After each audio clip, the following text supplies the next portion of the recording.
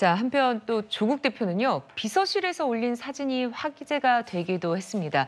아, 저희가 자료 그림이 있는데 한번 보시죠.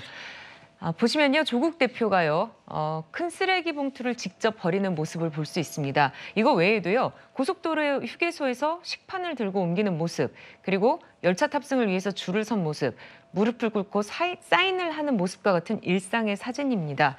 김순 평론가님, 이게 공개한 이유가 좀 뭔지도 궁금하고 사진에 대한 반응이 엇갈리고 있는데 어떻게 보십니까?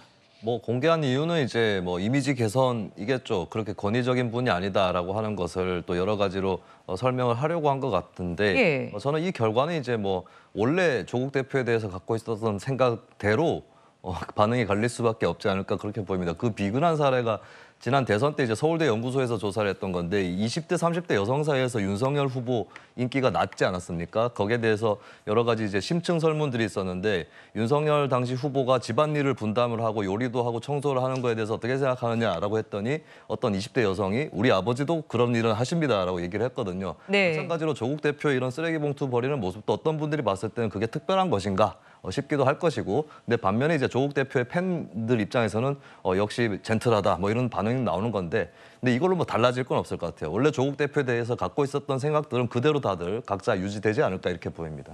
네, 야권 얘기는 여기서 정리를 하고요. 네 분과도 여기서 나- 인사 나누겠습니다. 고맙습니다.